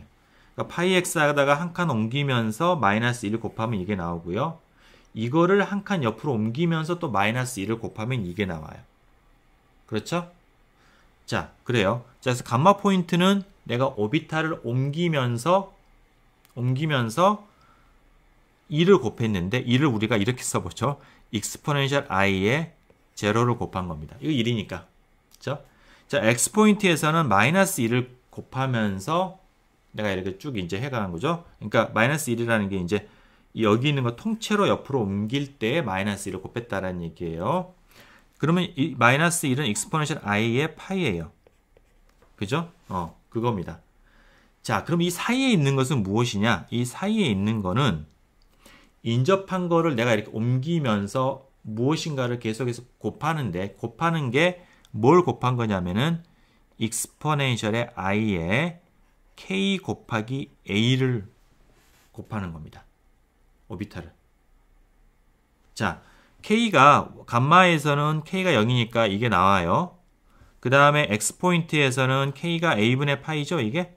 a분의 파이니까 뭐 이거가 이게 나오겠어요. 그죠? 어, k가 a분의 파이니까. 그 사이에서는 그 사이에 있는 k는 요감만큼 페이스를 곱해가지고 계속해서 오비탈들을 더해가는 겁니다. 그러니까 얘에다가 exponential ika를 곱해서 옆에 걸 만들고 거기에다가 또 exponential ik를 곱하고 또 옆으로 이동시키고 이렇게 쭉 곱해져서 더하게 되면은 그러면 다른 wave function들이 나와요. 이게 오케이 그게 실은 이제 그거를 갖다가 이제 그림으로 보여주는 게 이건데 이건데요. 이건데 어 그거는 여러분들이 한번 잘 들여다보고 이해를 할 수 있는 만큼 이해하시기 바랍니다. 그래서 다 일일이 다 설명을 하려고 시도를 하다가 계속 NG가 나가지고 포기했어요. 자, 어, 이제 그렇습니다. 그래서 하여튼 중요한 건 뭐냐면 내가 그 오비탈들을 이제 쭉 더할 때 앞에다가 어떤 개수를 계속해서 이제 추가적으로 곱하는 건데 그거가 익스포넨셜 ika만큼을 갖다 곱한다라는 거고요. 그게 이제 어, 감마 포인트에서는 다 1이기 때문에 100% 반딩이 되는 거고요. 그 다음에 어, 여기에서는 어, 저기 뭐냐 x 포인트에서는 exponential i 파이기 때문에 계속해서 100% anti bonding이 되는 겁니다. 이게 이거는 이제 그, 그, 그 뭐냐 ground state의 경우에 ground state의 경우에 그런 거예요. first excite state는 이제 반대였죠. 감마 포인트에서 fully anti bonding이고 x에서 fully the bonding이었죠. 그죠? 그 사이에 있는 거는 이제 그게 애매하게 이게 bonding도 아니고 anti bonding도 아니고 막 이렇게 되는 거예요. 왜냐하면 곱해질 때 이게 정확하게 플러스 1 아니 마이너스 1이 아니라 그 중간에 어떤 애매모호한 복소수 값을 가지기 때문에 그 캐릭터가 바뀌는 거 서서히 바뀌는 거예요. 100% bonding에서 100% anti bonding으로. 오케이? 이게 이제 분자에서는 이런 개념이 없어요. 여러분 화학에서 뭐 내가 partially bonding, partial anti-bonding의 말을 안 쓰죠. 그러니까 분자에서는 주기적이지 않기 때문에 그냥 bonding이면 bonding, anti-bonding, anti-bonding 끝나는 건데 이 피어딕 시스템에서는 이게 그렇게 깔끔하게 안 되고 100% 반딩에서 100% 엔티본딩으로 천천히 그레주얼리 K에 따라서 그 성격이 바뀌는 겁니다. 이게 이게 틀어지니까 이렇게 생각할 수가 있겠죠. 자 뭐냐면 내가 오비탈들이 이렇게 어 이렇게 이렇게 쭉 가는 거가 이제 이게 어 이게 그 본딩이고 이렇게 뒤집힌 거가 엔티 반딩인데 얘가 살짝 뒤집힐락 말락 뒤집힐락 말락 이렇게 해서 바뀌어 가는 거예요 일종의 어 이렇게 그죠? 어 그런 식으로 애매하게 이렇게 돼가는 돼가는 거 그런 게 이 사이에 있는 그런 캐릭터라는 거예요 이게 어, 자, 그래서 이제 결과적으로 뭐냐면 우리가 앞에 있는 그 밴드를 실은 이런 식으로 우리가 근사적으로 써볼 수가 있어요. 이거는 근사적이에요. 그러니까 우리가 그 각각의 그 어, localize 되어 있는 오비탈들의 결합으로 표현하는 건 근사적인 건데 어떤 내가 센터에서의 파이 x에다가 그걸 옆으로 한 칸 옮기면서 exponential i k a라는 베이스 벡터를 곱하고 그 다음에 또 한 칸 또 옆으로 옮기면서 요걸 한 칸 옆으로 옮기면서 또 추가적으로 곱하기 exponential ika를 하는 거예요. 그렇죠? 그럼 여기 옆에 거가 되는 거고요. 마찬가지로 내가 여기 있는 걸 뭐 마찬가지로 내가 여기에서 이쪽으로 넘어올 때도 여기에다가 한 칸 옆으로 옮기면서 곱하기 exponential ika를 곱하면 이게 되는 거죠. 그죠? 그래서 이런 식으로 내가 그 파동 함수를 갖다가 어, 각각의 국소화된 오비탈들로 내가 쭉 표현할 수 있겠다라는 거예요. 이렇게 이런 식으로 그리고 이거는 어, 뭐 미리 얘기하지만 이게 블로우 티어리로 만족을 합니다. 그러니까 이렇게 표현을 하게 되면은요. 이렇게 표현을 하게 되면은 그러면은 여기다 내가 바깥에 exponential ikx를 빼면은요. 그러면 여기다 이제 안쪽에 exponential minus ik의 x minus na가 들어가죠. 어. 자, 그러면은 거기에서 이제 내가 그 어, 저기 뭐냐? 여기에다가 이제 어 요렇게 내가 쓸 수가 있겠고요. 여기 있는 걸 이걸 내가 통째로 ux라고 얘기를 하면은 이걸 ux라고 얘기를 하면은 여기다가 내가 x에다가 a만큼 시프트를 해도 이게 보면 x-na, x-na인데 n이 마이너스 1에서 플러스 1까지 가는 거잖아요. 그렇죠? 그렇기 때문에 이걸 한 칸 내가 x만큼 a만큼 시프트를 하더라도 이 형태는 동일합니다. 그냥 인덱스가 그냥 한 칸 옆으로 바뀌는 거니까요. 그래서 ux가 periodic하기 때문에 우리가 블로우 포문을 블로우 티어를 만족을 합니다. 오케이? 이거는 만족을 하고요. 자, 그래서 우리가 이제 파동함수를 이렇게 localize 되어 있는 상태 혹은 오비탈들의 선형 결합으로 이렇게 표현하는 거를 우리가 뭐라고 하냐면은 tight binding approximation 이라고 얘기를 합니다. 그러니까 tight binding이라고 하는 거는 이제 의미가 여러분들 뭐 이해하시겠죠. 이게 워낙 깊어서 어떤 특정한 영역에 딱 이렇게 binding 되어 있다. 라고 이렇게 이제 생각을 하는 거예요. 이게 원자로 얘기를 하면은 이제 원자들에서 우리가 뭐 어떤 오비탈들이 속박되어 있는 그런 느낌인 것이죠. 그죠? 그래서 실은 이제 어, 비슷한 어, 동일한 개념, 동일한 어떤 개념이 화학에서는 뭐라고 불리냐면은 linear combination of atomic orbital. 그러니까 atomic orbital이라는 게 원자들이 쭉 이렇게 있을 때 있을 때 그 원자들의 오비탈이라는 게 이제 1s 오비탈, 2s 오비탈 이런 원자 하나가 있을 때 오비탈들이 있잖아요. 그걸로 내가 선형 결합을 해서 그런 어떤 상태를 만들어낸다. 꼭 이제 이런 periodic 시스템뿐만 아니라 내가 뭐 분자 같은 걸 갖다가 고려를 할 때도 그런 atomic orbital들을 결합을 해서 어, 파동 함수를 표현하는 거를 우리가 이제 그 linear combination of atomic orbital 기술 LCAO라고 얘기를 많이 하고요. 그게 이제 이쪽에서는 우리 solid state에서는 tight binding approximation에 해당이 되는 거가 되겠습니다. 오케이? 자, 그래서 이런 tight binding approximation은 실은 어, 상당히 좋은 근사예요. 그러니까 대부분의 우리가 그 어, 물질 내에서의 대부분의 그 어떤 밴드를 갖다가 실은 tight binding 근사로 다 표현할 수가 있고요. tight binding으로 잘 기술이 되고요. 단 exception은 뭐냐면은 free electron 모델로 잘 기술되는 S오비탈들. 그러니까 바깥쪽에 이렇게 금속에서 바깥쪽에 있는 S오비탈 같으면은 S오비탈 같으면은 그게 이제 tight binding 된 건 아니잖아요. 그거는 free한 상태니까. 그래서 그건 tight binding 근사가 잘 안 맞습니다. 근데 그걸 제외하고선 대부분의 오비탈 어, 밴드들은 어, 이런 tight binding 근사가 어, 잘 맞아요. 자, 근데 이 잘 맞다라는 게 그냥 그런 대로 뭐 뭐 잘 설명을 한다라는 거지 실은 이제 어떤 정말 정확한 계산을 만족을 어, 정확한 계산은 아닙니다. 이게. 그래서 옛날에 이제 컴퓨터의 파워가 좀 약했을 때는 이런 LCAO로 해가지고 많이 계산들을 했었는데 어, 요즘 시대에는 이제 실제 내가 진짜 계산하려고 하면은 이런 근사 안 쓰고 그냥 다 그냥 있는 대로 다 계산을 하고요. 어, 제대로 그냥 우리가 matrix를 다 풀어가지고 그냥 계산을 하고 어, 단지 이제 설명을 할 때 우리가 밴드를 이해하거나 설명을 할 때는 이런 tight binding의 어떤 그런 개념으로 설명을 하는 게 어, 많은 도움이 되곤 합니다. 오케이. 자, 그 comment를 하고요. 자, 어, 우리가 이제 파동 함수를 tight binding으로 어, approximation 이렇게 쭉 우리가 어, 근사를 하게 되면은 실은 이거가 가지는 에너지를 역으로 또 계산을 할 수가 있는데요. 앞에서는 우리가 그걸 다 이제 numerical하게 계산했는데 analytical하게 계산할 수가 있어요. 어느 정도. 자, 뭐냐면은 자, 파동 함수로 내가 tight binding 근사를 방금처럼 이렇게 썼어요. 자, 특별히 K라는 인덱스 여기다 붙일게요. 왜냐면 K에 의존을 하니까. 자, 그러면은 이거는 이제 우리가 어 어떻게 이제 이걸 우리가 이제 근사적으로 약간 이제 그 노테이션상 어 파이의 x-n을 내가 파이 n으로 이렇게 내가 좀 쉽게 쓰겠어요. 자, 이렇게 했을 때 이런 파동 함수가 hf 사이는 ef 사이 그러니까 h는 해밀토니안 앞에서 봤던 슈딩거 이퀘이션 이렇게 약칭해서 우리가 hf 사이는 ef 사이 요걸 푸는 거죠. 자, 그럼 여기다 파동 함수를 갖다가 여기다가 푸사에 넣고서 어, 전개를 해보면은 이제 h가 개별적인 파이 n으로 작용을 하고요. 그다음 우변에는 입실론에다가 이제 요거가 이렇게 들어가게 되겠어요. 그렇죠? 자, 양변에다가 내가 양변에다가 여기다가 곱하기 파이 m을 곱하고 파이 m. 파이 m은 뭐냐면은 이게 지금 파이 n이라고 하는 거는 x의 아, x na라고 하는 그 lattice. 그러니까 내가 이제 처음서부터서 na 번 n 번째에 있는 아, x 이꼴 na라는 점에 있는 그 오비탈을 얘기를 합니다. 그럼 m이라고 하는 거는 다른 다른 사이트겠죠. ma라는 점에 있는 뭐 그런 오비탈을 내가 어, 곱해서 적분을 합니다. 이걸 두 개를 어, 적분을 해요. 적분을 하면은 그러면은 어, 좌변에 여기다가 이제 내가 이쪽에다가 파이 m을 곱하고 적분을 하는 게 나올 거고요. 그게 요거가 되겠고 그 다음에 여기에다가 내가 이제 어, 똑같이 파이 m을 곱하고 또 적분을 합니다. 조금 여기 하나가 나와요. 자 그런데 내가 파이 m하고 파이 n은 뭐냐면은 내가 예를 들어서 지금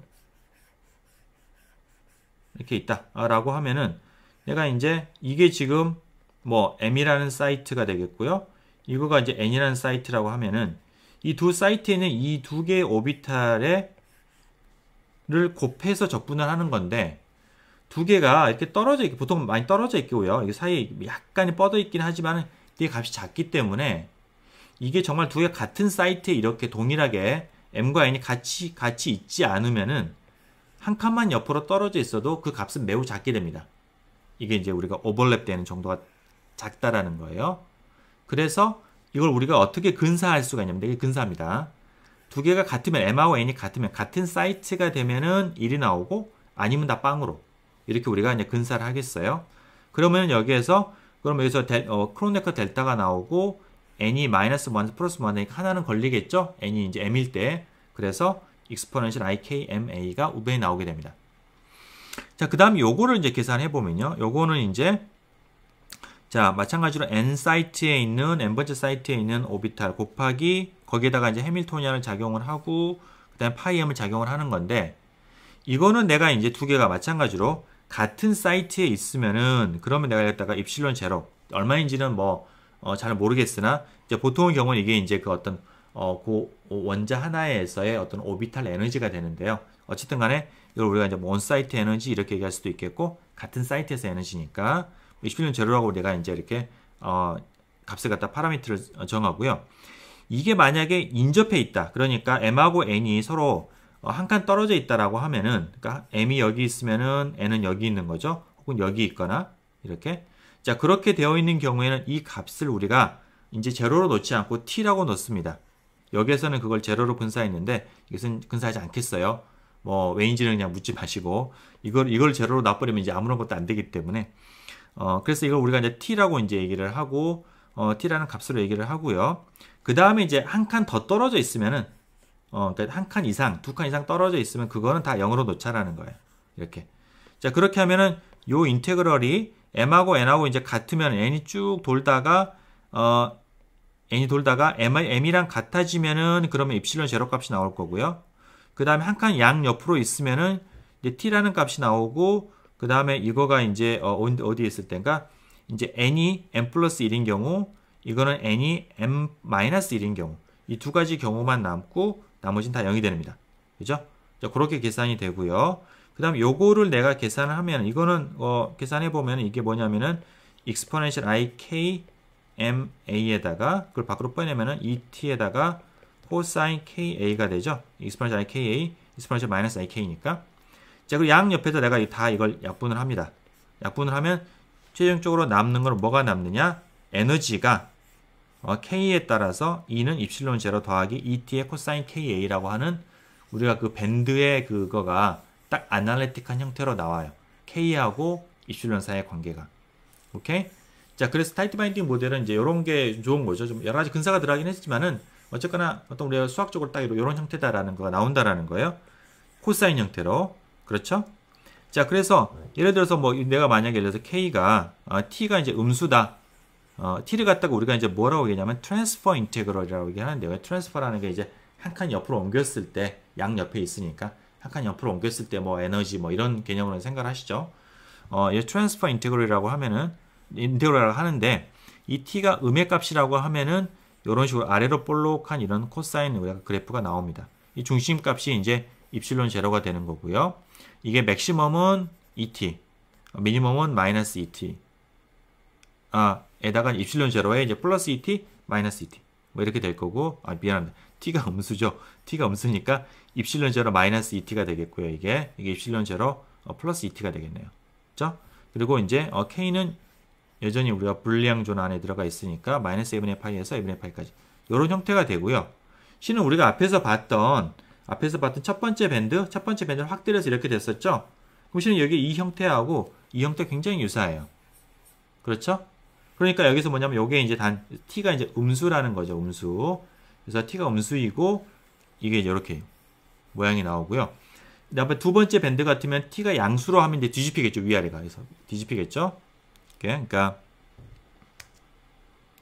이런 식으로 나오겠죠. t가 이제 양수라고 하면은 요 형태하고 비슷한 형태가 나오게 됩니다.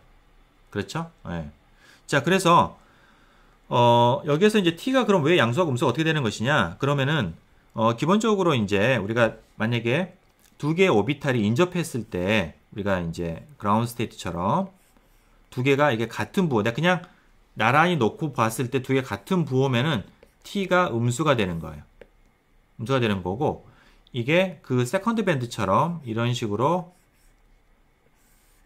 이게 플러스 마이너스 플러스 마이너스 이렇게 했을 때 부호가 반대로 뒤집히면은 그땐 t가 양수가 됩니다. 이게 이게 신양 그게 부호가 이렇게 어, 바뀌게 되는 이유가 뭐냐면 이게 Hamiltonian h에 있는 v 때문에 그러는 건데 v가 이제 이펙티브하게 마이너스가 되기 때문에 지금 그런 겁니다. 자 그런데 어찌됐거나 어, 그 t의 값에 따라서 뒤집힐 수는 있겠지만 어쨌거나 그 밴드의 모양이 상당히 이거를 잘 피팅이 된다라는 거예요. 오케이? 자, 그렇습니다. 자, 그리고 여기에서 우리가 이제 한 가지 또 영어를 어, 하나를 또 정의를 해보면은요. 여기서 이 밴드가 위아래로 가지는 폭이 있죠. 이 폭. 얼마만큼 에너지 스케일상으로 폭. 이거 같으면 4 곱하기 절대값 t가 될 텐데 이걸 우리가 band width라고 얘기합니다. 밴드의 폭. 그러니까 우리가 앞에서 음, 뭐 그림으로 봤을 때 어떤 거에 해당되는 거냐면 뭐 이런 거가 이런 게 첫 번째 밴드의 밴드 폭이고요. 이게 두 번째 밴드 밴드 폭이고 이렇게 우리가 뭐 그렇게 우리가 정의를 할 수가 있겠어요. 그렇죠? 그러니까 차지하는 에너지 그 영역. 그렇죠? 네, 그래서 이걸 우리가 이제 band width라고 이제 얘기를 합니다. 자, 그래서 우리가 이제 여기서 볼 수 있는 거는 t가 클수록 그러니까 transfer integral 값이 클수록 이게 더 밴드 폭이 크다라는 걸 알 수 있고요.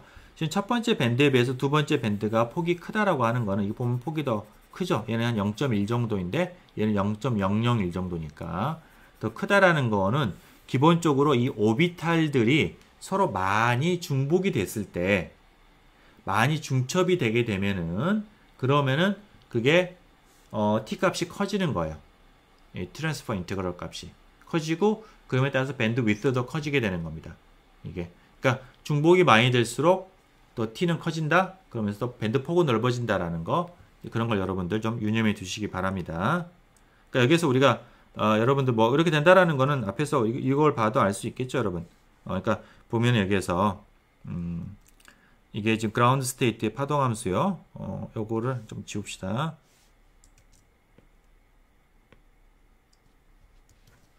보면은 어, 파동 함수를 보면은 이게 이 양옆으로 뻗어 나와 있는 정도를 봐보세요. 이걸 봐볼까요? 뻗어 나와 있는 정도가 이 ground state에 비해서 훨씬 더 더 이게 더 많이 옆으로 파고들었죠. 에너지가 높으니까. 고로 사람 인접해 있는 그 오비탈 혹은 스테이트들끼리 서로 많이 중폭이, 중첩이 많이 되는 거예요. 그래서 t 값이 커지는 겁니다. 그런 경우에 개념적으로 한번 여러분 잘 어, 기억해 두시고요. 자 그렇게 되면 우리가 이제 어, 뭐 이렇게 이해를 어, 해볼 수가 있겠어요. 그 실제 이제 좀 스케메틱에서 벗어나 가지고 예를 들어 가지고 우리가 어, 자 어, 리튬 원자들이 쭉 1차원으로 체인으로 이렇게 연결되어 있다고 칩시다. 가상적인 거예요. 그, 어, 리튬의 1차원 solid, 뭐 크리스탈 이렇게 되겠습니다.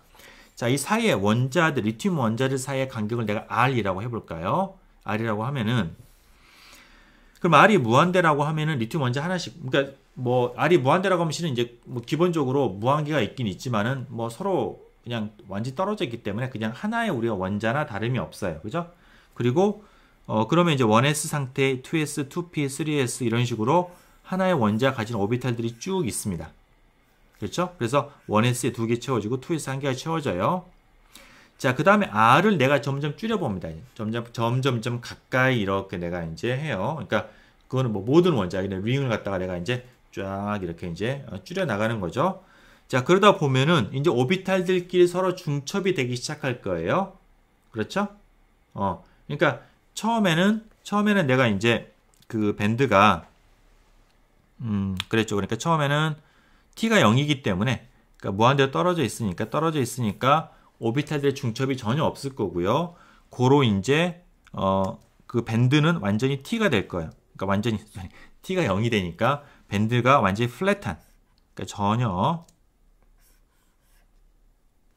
여기 있는 상황을 생각 이쪽으로 그릴까요? 이게 완전히 이렇게 밴드, 이건 이제 밴드입니다. 이렇게, 어, 전혀 그 디스펄전이 없는, 이렇게 움직임이, 그러니까 이게 휘어지는 정도가 전혀 없는 평평한, 완전히 100% 플랫한 밴드가 나올 거예요. 이게 정말 굉장히 많이 떨어져 있다라고 치면. 그래서 이렇게 하나하나 우리가 정말 그냥 하나하나 에너지밖에 안 가지게 되는 거죠. 그죠? 어. 가까이 오게 되면 이제 오비탈들이 중첩이 되는데 그 중에서 위쪽에 있는 상태일수록 더 오비탈들이 이제 더 많이 이렇게 바깥쪽으로 뻗어 있겠죠. 마치 우리가 방금 전에 여기서 ground state와 어, first excited state가 이제 우리가 그 차이가 있었듯이 마찬가지 원자에서도 우리가 바깥쪽으로 위로 올라갈수록 점점, 점점, 점점 더 오비탈은 밖으로 이렇게 이제 뻗어 나가게 됩니다. 고로 이렇게 우리가 이제 어, 서로 가까이 왔을 때 여기 중에서 가장 먼저 중첩이 되기 시작하는 밴드 그, 그 오비탈은 3s 오비탈이 될 거예요. 그죠? 그러면은 그런 상황이 가게 되면은 여기쯤에 가서 보면은 이제 1s나 2s나 2p 이런 것들은 여전히 그냥 이렇게 t가 거의 제로여 가지고 디스펄전이 없는데 3s 같으면은 얘가 약간의 이런 디스펄전을 가지기 시작합니다. 그렇죠? 그래 가지고 에너지가 하나의 값이 아니라 이런 어떤 폭을 가지게 되는 거예요. 이렇게 약간의 폭을 가지게 되는 거예요. 이 폭은 여기서 이 폭을 얘기를 하는 겁니다. band width를 얘기를 하는 거예요. 자, 그러다가 이제 좀 더 오게 되면은 자, 위의 밴드는 위에 3S는 더 이제 그러면 더 심하게 이제 오비탈이 이제 가까워지니까 t 값이 증가할 거고요. transfer integral이 증가할 거고 그러면은 더 dispersive해지는 더 많이 휘게 될 거고 그 다음에 이제 아래쪽에 있는 2S나 2P도 이제 약간씩 이제 이런 식으로 어, 이 중부 이렇게 이렇게 dispersion이 생기기 시작합니다. 그러면서 에너지가 이런 식으로 이제 밴드 band width를 가지게 되는 것이죠. 이렇게. 그죠? 근데 그게 이제 폭이 이제 그 순서가 순서가 많이 뻗어 있는 그런 상태일수록 또 중첩이 많이 돼 가지고 T가 커서 더 많이 이렇게 먼저 더 일찍 이렇게 되는 거고요. 그러다가 이제 내가 이제 그 어떤 equilibrium length solid 근처로 오게 되면은 그러나 여전히 그 경우에도 1S는 워낙에 localize 돼 있어가지고 flat한 밴드로 남게 되고요. flat한 밴드로 남게 되고 그리고 이제 어 그 위쪽에 있는 것들은 위쪽에 있는 것들은 어 이제 조금 dispersion이 더 생겨가지고 이런 식으로 이제 어 band width가 이렇게 dispersion 에너지 띠를 가지게 되는 이런 상황이 되는 겁니다. 오케이? 그리고 물론 내가 이제 가상 적으로 정말 더 극도로 더 이렇게 누르게 되면은 그러면 이제 마지막에 가서는 이제 원에서 오비타도 이제 어 마지 못해서 중첩이 되면서 밴드가 디스퍼전이 생기고 또 에너지가 폭을 가지게 되는 것이죠. 그래서 그런 식으로 우리가 이렇게 스케메틱하게 이렇게 그림으로 이해할 수도 있고요. 그걸 갖다가 조금 더 더 이제 뭐, 뭐, 에너지 우리가 어떤 이런 이런 걸로 그리 이렇게 이런 식으로 그림을 그리기도 하고요. 이렇게 그렇습니다. 이렇게 어, 자, 그래서 여기에서 우리가 이제 그러면 2S 밴드가 이제 뭐 여기서 electron이 2S 있는데 그것들이 이제 여러 개가 있으니까 채워지는 거죠. 채워져 가지고 우리가 그 밴드의 절반 정도까지 채워지게 되는 겁니다. 이게. 오케이? 여기서 이제는 schematic한 그림이고요. 실은 이제 2S나 어, 2P 같은 것들이 서로 중첩이 되기 시작하면은 S 밴드, 뭐 2S 밴드, 2P 밴드가 따로 놀지 않고 서로 이렇게 hybrid가 돼가지고 우리 혼성 오비탈이 생겨가지고 또 더 밴드가 복잡한 모양이 돼요. 이거는 schematic한 그냥 여러분이 어, 어, 그림으로 이해를 하시면 되겠습니다. 오케이. 자, 그 여기서 한 가지 앞에서 빠뜨렸었는데요. 어, tight binding 근사에서 우리가 실은 댄서 스테이트를 갖다가 또 바로 구할 수가 있는데 자, 댄서 스테이트는 우리가 앞에서 뭐라고 했었냐면은 그게 이제 그 slope 여기는 이 slope에 반비례 한다고 얘기했었죠. 근데 slope는 뭐냐면은 에너지를 K로 미분한 거예요. 그죠? 에너지 K로 미분한 거니까 결국은 이게 뭐가 될 거냐면 사인이 될 거고요. 어, 그러니까 요거를 슬로우는 이제 K로 미분하게 되면은 그냥 대충 다 어, 떼고 있었으면 사인 KA에 비례하게 될 거고요. 슬로우이. 그 역수를 취하게 되면은 우리가 사인 KA분의 1이 되는 거니까 이게 어, 뭐죠? 코시컨트가 되나요? cosecant가 돼가지고 이게 지금 어, density of states가 이쪽에 보면은 cosecant 그림이 나오게 됩니다. 이런 식으로.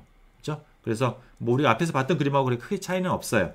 단지 그냥 수학적으로 이렇게 cosecant라고 이렇게 우리가 어, 표현되는 거 그냥 그걸 뿐이고요. 여기도 마찬가지로 우리가 이렇게 cosecant가 이렇게 로 표현될 거고요. 그죠? 뭐 그렇게 우리가 뭐 계산을 해볼 수도 있습니다. analytic하게.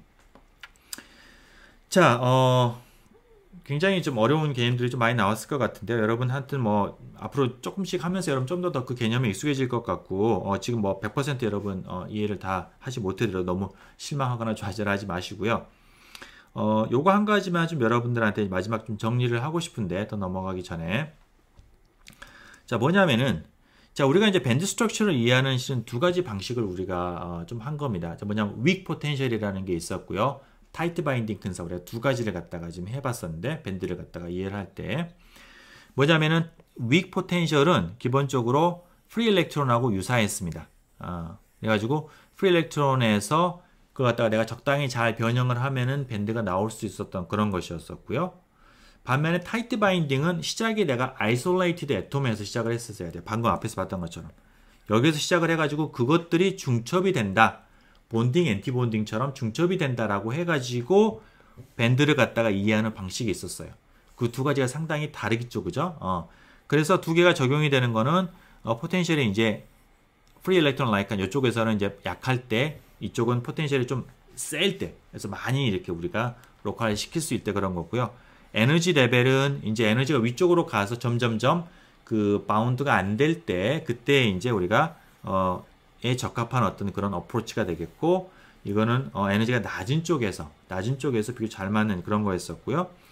자, 파동함수 모양을 보면은 free electron-like 했을 때 프레이톤이면 익스포넨셜 IKX, 플레인 웨이브, 이런 사인 코사인 파 이런 걸로 우리가 기술됐었고 그게 이제 살짝 변형이 되는 정도로 생각을 했었고요. 어, 반면에 이제 isolated atom tight binding approach에서 시작은 뭐냐면 orbital이에요. atomic orbital 시작을 해가지고 거기다 적당한 phase factor를 곱해서 우리가 Bloch function을 만들어서 이해하는 것. 그게 이제 어, 차이점이었었고요. 그 다음에 K의 의미가 앞에서는 우리가 뒤에서 이제 K의 정확한 의미는 우리가 더 얘기를 하겠지만은 실은 모멘텀 이게 free electron-like한 경우에는 momentum하고 상당히 유사한 그런 어, 의미를 가집니다. 이게 반면에 여기에서 우리가 tight binding approach에서 approach에서 우리가 K라고 하는 것은 bonding이냐 antibonding이냐 혹은 애매모호한 중간이냐 이런 것들하고 연관이 돼 있던 거예요. 그죠? 그래서 이 두 개가 이렇게 또 달라지는 거고요. 어, 한 가지 재밌는 거는 이쪽은 실은 physics 쪽에서 많이 하는 영역이 되겠고요. 이쪽은 chemistry, chemistry 쪽에서 많이 하는 게 되겠고 그래서 각자 자기가 편한 영역에서 노는데 재료과학은 어, 양쪽을 다 커버를 해야 되기 때문에 이 중간에 우리가 Bloch function이라고 하는 상당히 복잡한 어, 그런 우리가 함수를 다뤄야 됩니다. 그래서 뭐 하여튼 이런 식으로 전반적으로 우리가 band structure를 이해를 하는 어떤 두 가지 크게 다른 관점들을 갖다가 했고요. 그러니까 이렇게 자꾸 이렇게 얘기를 하는 이유는 뭐냐면은 우리가 이걸 전체로 생으로 다 이해하는 건 어렵기 때문에 어떤 경우에는 free electron-like한 경우로 좀 빗대서 우리가 이해를 하고 어떤 경우는 tight binding으로 이해를 하고 이제 그런 식으로 이해를 하는 겁니다. 그래서 뒤쪽에도 뭐 나오겠지만 예를 들어서 우리가 copper다. 그럼 카파에서 카파의 S 일렉트론은 우리가 free electron-like하게 우리가 기술을 하고요. 카파의 D 일렉트론 같으면은 tight binding으로 또 이해를 합니다. 그런 식으로 우리가 어, 다른 approach도 좀 섞어야 된다. 그 어떤 어, 기원이나 더 잘 맞는 근사에 의해서 어, 그런 거가 되겠습니다. 네, 수고하셨습니다.